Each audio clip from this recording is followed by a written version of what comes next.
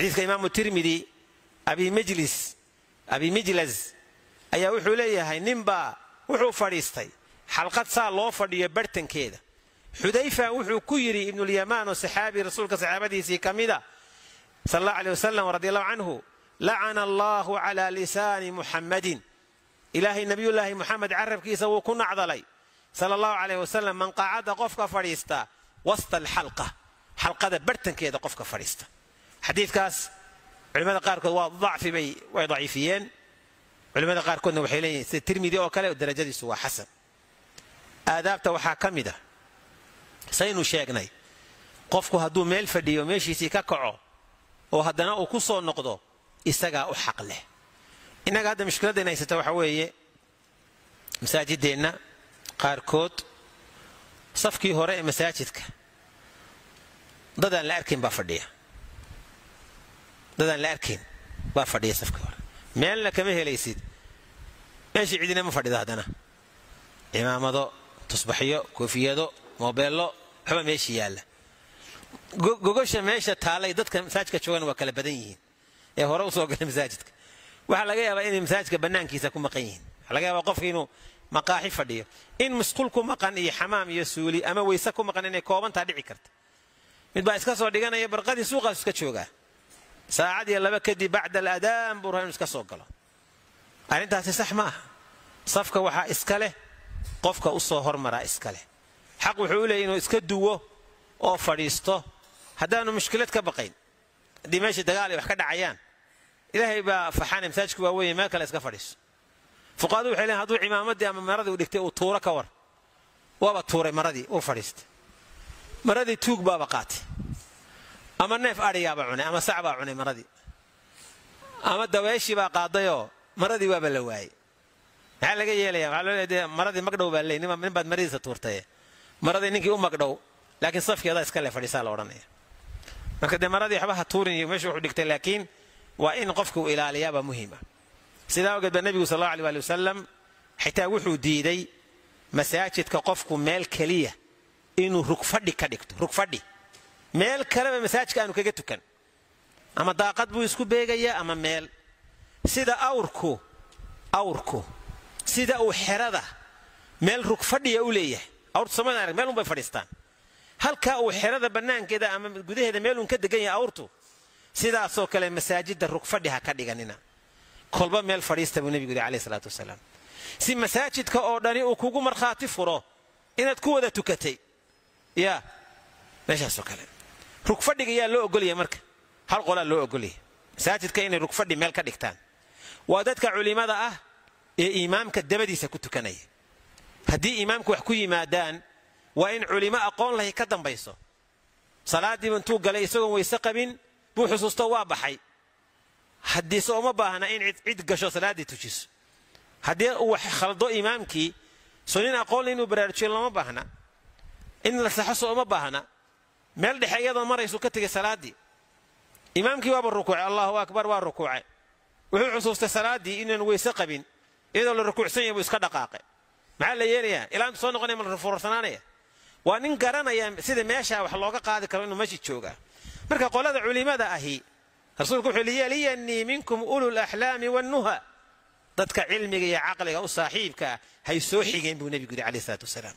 Marka inta imaamka ku beegan ilaa afar qof oo kale qiyaastii waa in dadka culimadaa iska leh ahlulcilmiga baa iska oo imaamka iyo wixii ku yimaada xallin kara. Halkaa waa booskooda. Culimadu afar iyo saddex maaha waa ka badan yihiin.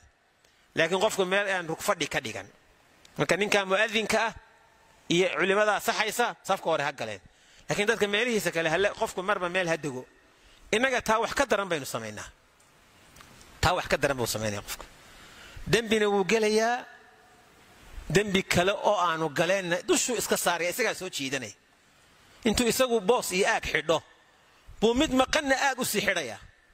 Halkanuu degaya halkan wuxuu leeyahy jaamac baa imanaya faarax iyo yuusuf. Markaasuu ama loox ama cimaamad ama wax u sii dhigaya.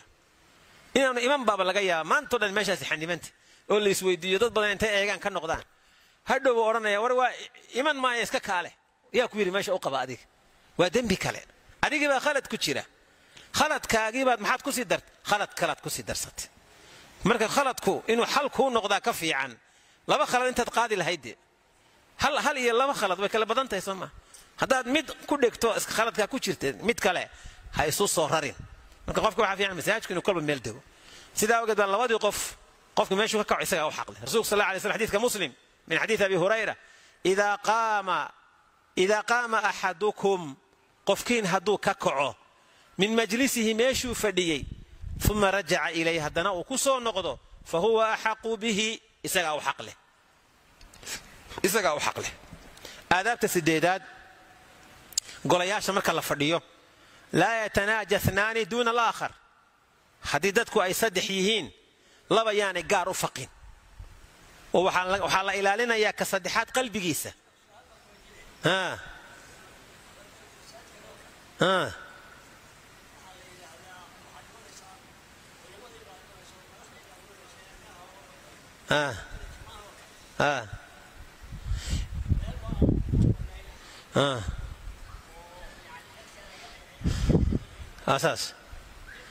wixii hal mar oo kale ah hal mar jimcaha oo kale waxaa imanaya hebel iyo hebel baa imanaya ama dad culimaa ama dad madaxa imanaya haa halkan ha loo banneeyo halkan ha loo banneeyo hal mar iyo dhibaato ma leh. Macbiil baa daran dee macbiil.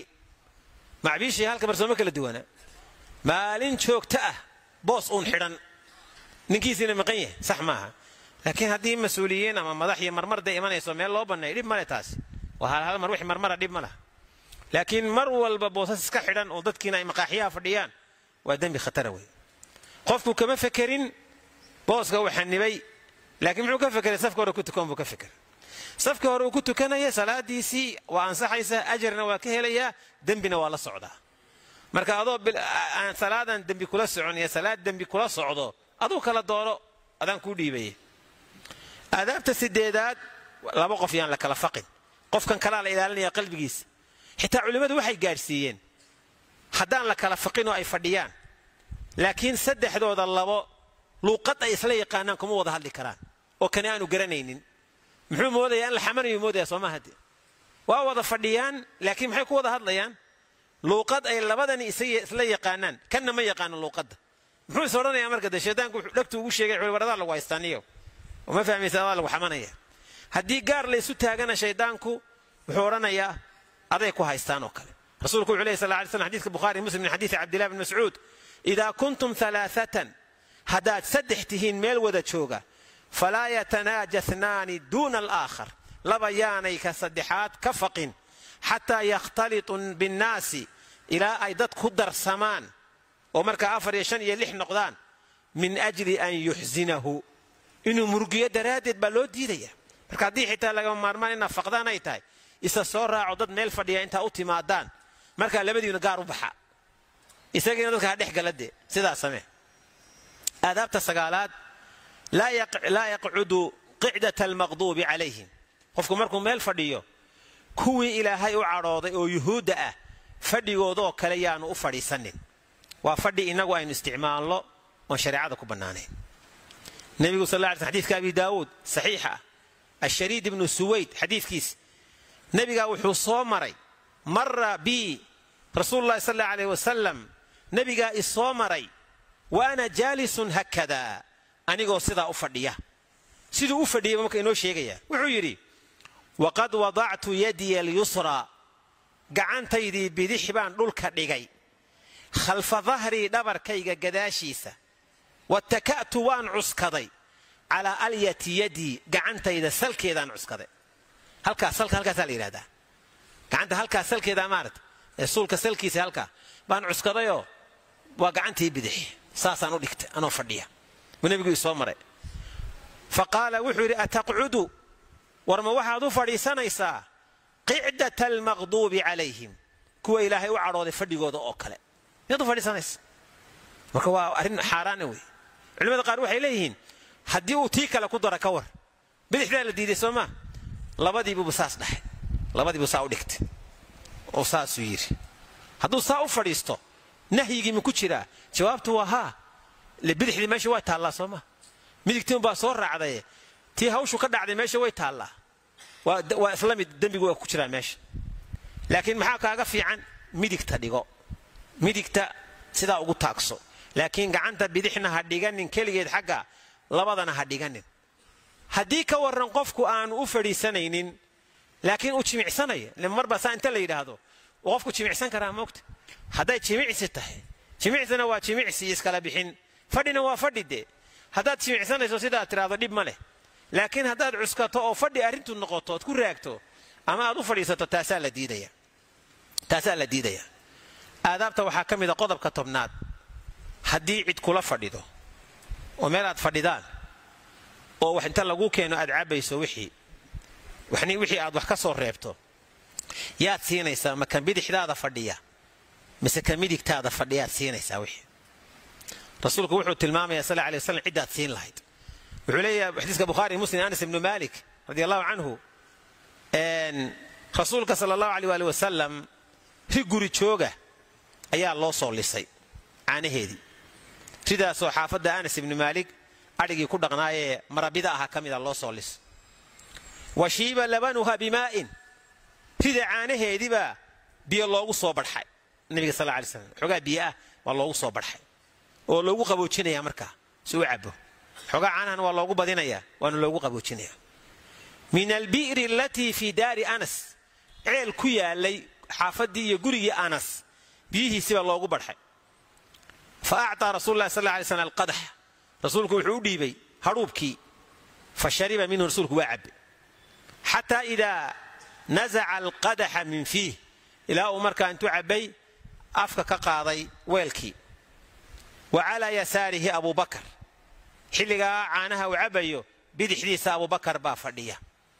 Wa can yamiinihi midigtiisana acraabiyun nin reer baadiye ah fadhiya. Abubakar ninka reer baadiye ayaa fadli badan marka. Abubakar laakiin nasiibka ilahay muxuu fadhiyaa?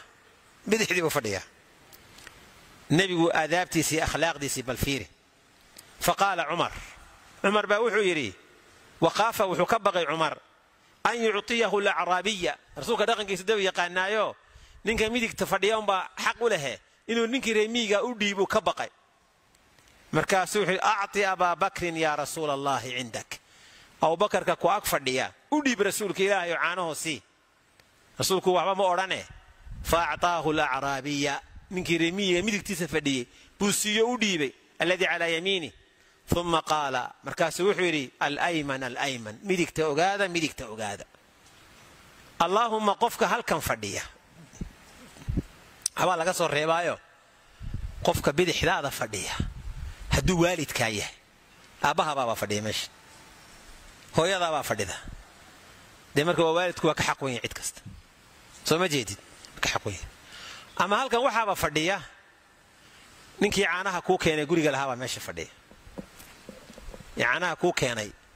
Ee isaga iska kaa horraysiiyey ee fadhiistay ee sugayey markaad cabto kadib dabadaa inaad isaga u dhiibto baa meesha fadhiya. Markaana waxaad dhahaysa war miyaan kuu dhiiba ama sekana midigta iga fadhiya waan u dhiibaa. Miyaan kuu dhiibaa hebelow sekan xaggan iga fadhiya. Oo midigtaydaa baan u dhiibaa. Taasna waa sidaas. Aadaabta waxaa ka mid a in qofku golo kasta aanu iska fadhiisan. Golo kasta. Bahalkan duqsiga la yidhaahdo. Meel kasta waa ku degaa. Markuu ku dego ayuu arkaa dee meeshu meel quruna inay tahay meel wacan inay tahay. Qof haragoonayo udgoonna dushu kaga degayaa. Mid uskagii qashinlena waa ku degayaa isagu. Adiga golo kasta ha iska fadhiisanin. Indhaad leedahay dhegaad leedahay caqli baad leedahay muslim baa tahay golo kasta ha iska fadhiisanin. Golaha waxa xun lagu hayo meel khamri lagu cabayo ha fadhiisanin. Xitaa haddaadan cabaynin waa xaaraan inaad fadhiisato. Meel lagu qayilayo kuwa qayilayaa inaad la sheekaysato awgood ha u ag fadhiisanin. Xitaa haddaadan qayilayn waayo meesha waxa lagu hayaa maxay tahay? Waa xaaraan. Kuwa filin daawanaya haddaadan xitaa filinka daawanayn ha la fadhiisanin. Baabkooda ha gelin. Kuwa wax caayaya kuwa wax xamanaya waxaaso dhan ha la fadhiisanin xataa yakhuuduu fii xadiiin hayri ilaa dadkaas wax wanaagsan markaa u baydhaan mooyaane ciddaad la fadhiisanayso qof dadka wanaagsan la fadhiiso dadka wanaagsan rasulku wuxu yhi alay slat sl xadiska muslim inamaa mathalu ljaliisi saalix waljaliisi suu la fadhiisiga lala fadhiisto midka wanaagsan iyo midka xun tusaalahooda wuxuu la mid yahay ka xaamililmiski wa naafikhi lkiir qof la fadhiistay mid bir ka shaqaynaya farsamo yaqaan ah oo birtii iyo dabkii buufinaya oo shaqada adag ku jira qofkii la fadhiistaa dee wuxuu arkayaa birtii qarmuunkeedii la gubayey dhimbilihii duulduulayay waxaasoo dhan baa dee soo gaaraya dambaskii. Kii laakiin qof la fadhiista cadarle ah oo cadar iibinaya maxay noqonaysaa? Inuu cadarkii ka iibsado inuu u mariyo ama uu siiyo. Ama haddaanu midnaba samayn udgoonka iyo raaxyadaasu ka dhergayaaba hadhow isagoo iska wada carfaya buu ka soo baxaya. Had haddaad meel hudheel jikadii ma gashay weli adugu. Jikada hudheelada cuntada lagu bislay qiiqu ka baxayo. Bal gal wax ka soo iibso dibadda u soo bax bal isyara urso. Adigoo dhan higladii xaabadiiba kaa uraysa. Ila wixiiba meesha ku baxaya soomaa hadde intayna dhex joogta haddii meel cadar iyo udgoon iyo lagu hayaad dhex gashina caynkaasoo kale sida marka saamaynta dhow uu kuu saamaynaya looga jeedaa. Saamayn dhow buu ku saamaynaya qofka xun haddaad la fadhiisatid si dhow buu kuu saamaynaya ka wanaagsan si dhow buu kuu saamaynaya ayuu rasuulku tilmaamay salawaatu ullahi wasalaamu calayh aadaabta waxaa ka mida ilaahay dikrigiisa iyo xuska ilaaha iyo salliga nebiga calayh salaatu wasalaam. In qofku uu la yimaado intuu golaha fadhiyo hal marna ha noqotee si uga badbaado inuu dembi ku dhaco. Waayo xadiidka imaamu tirmidi rasuulka salawaatu ullahi wasalaamu caleyh min xadiidi abi hurayra ayaa wuxuu leeyay nebigu maa jalasa qawmun qola ma fadhiisto. Qowm iyo qola ma fadhiistaan majlisan gole. Lam yadkuru llaha fiihi. Meesha ay fadhiyaanoo ilaahay aanay ku xusin subxaanahu wa tacaala majliska iyo golaha gudihiisa.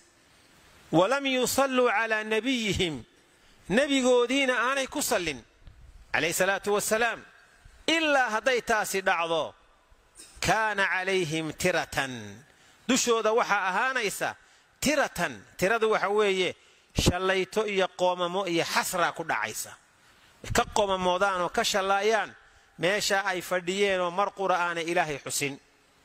Fa in shaaa hadduu ilaahay doono marka cadabahum wuu cadaabayaa wa in shaaa hadduu doonana hafara lahum ou dhaafaya.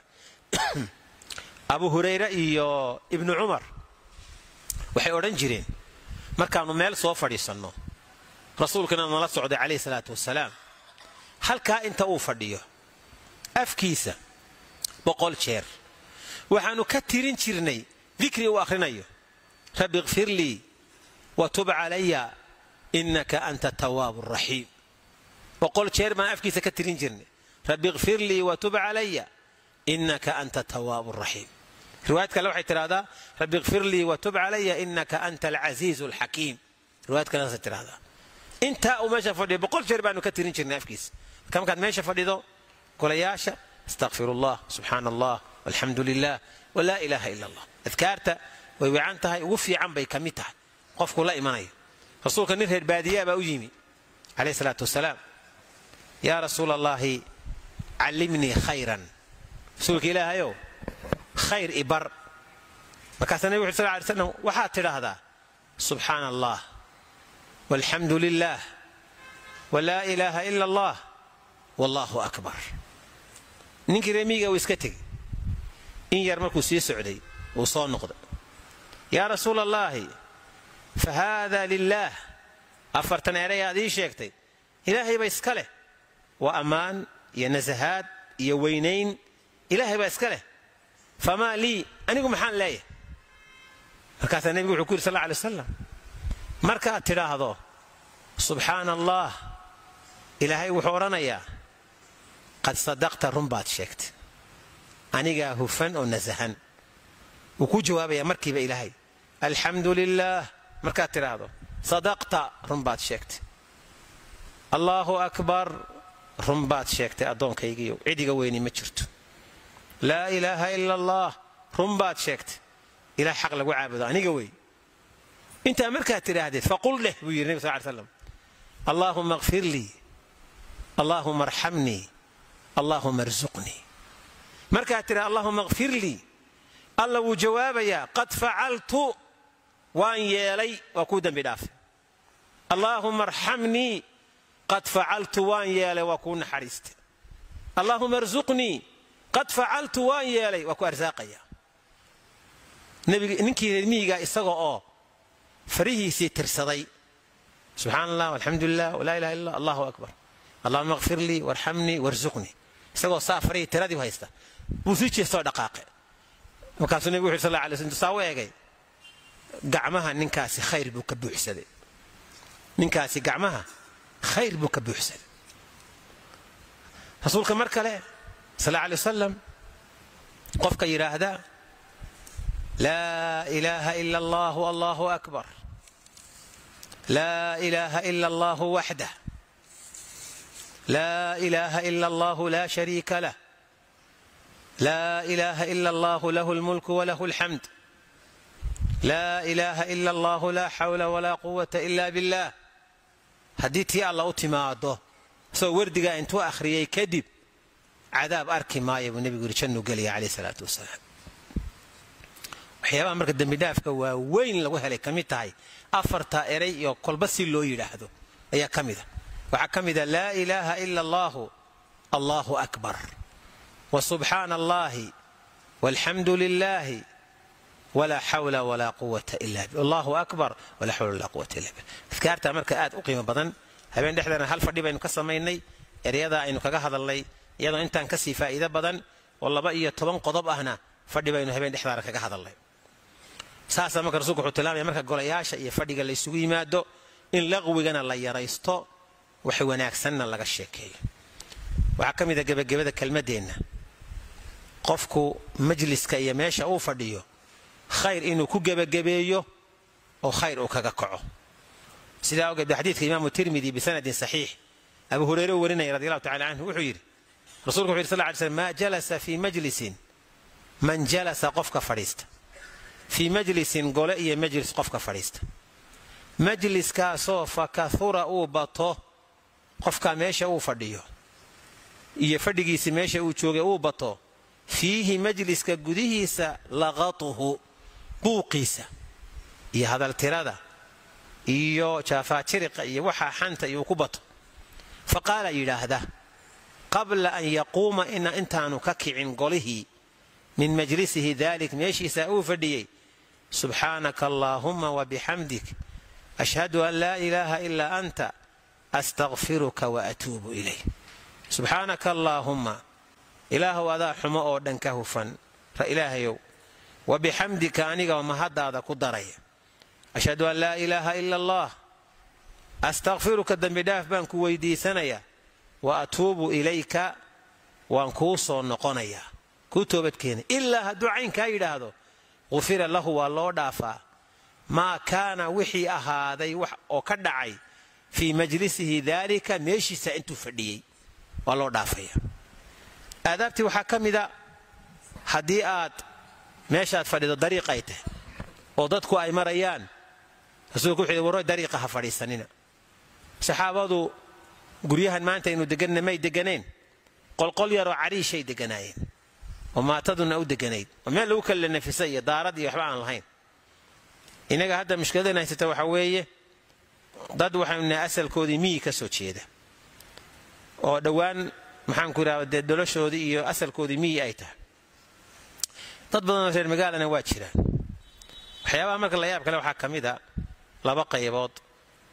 Waxaad arkaysaa guryo nus baloodha ah ama baloodha ahoo waaweyn oo ganjeelooyin leh. Dumarkii iyo maatadii joogtay guriga. Albaabka guriga waa la ballaqayaa. Shaarica cid waliba marayso daaradaasaa gurigii layska joogayo qof xirayaa ma jirto. Intaa waaba sahlanta hooyadii iyo carruurtii iyo dhammaantood kulli bannaankaa la soo wada fadhiisanaya. Haddii laydhsi la rabo ama sheeko la rabo waa in guriga dhexdiisa lagu leydhsaa la fadhiistaa. Bannaankaasaa la soo wada fadhiisanaya. Dadka dariiqaa maraya baa la shaandhaynayaa meeshaa maraysa.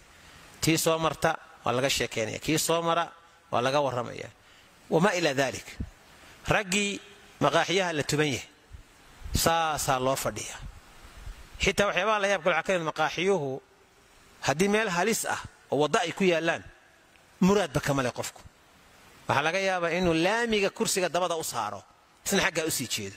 Wargaari baa ku dafi karaa gebigaagaba ku jeedhi karaa oo bilaabireeg ah dadkan darawallamaha birta waa la iska baacinaya hadda. Darawalnimadii lagaga bixi jiray aqoonta ma jirto. Waxa qofku ma jeedo. Maanto dhan halkaasa la fadhiyaa saacad fara badan xanta qabyaaladda waxa la shubayo dariiqaas ishaada laab buu nebigu yuri sal alay slm war markaa haddaad waddadii fadhiisataan indhihiinna laaba. Waddada xaqeeda siiya xaqeedu waa maxay? Indhihiinna laaba. Yaan la eegin. Waddada waxa maraya qofka. Bidhaantiisa rag iyo dumar baa meesha maraya. Yaan la daawanina wax laga sheegsheegin indhahaaga laab. Oo fiirfiirinin salaanta dadka ka salaan oo salaanta ka qaad. Wixii wanaaga sheeg. Wixii xumaana celi qaab diineed meesha u fadhiiso. Laakiin qaab inta aan ahayn iska ilaali inaad meesha u fadhido.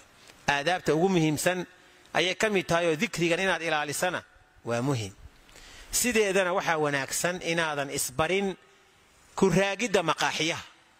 Dan kuuguma jirto. Maqaaxidan koob shaaha ka cab ama wax ka cun ama ka shaah markiiba ka kac. Dantaada qabso. Dantaada qabso. Waxaad qabsamiyaad weyd masaajidka tagoo iska wardiyo ama qur'aan akhriso. Haddaanu furnayn danahaaga qabso gurigaagii iska aad. Ya?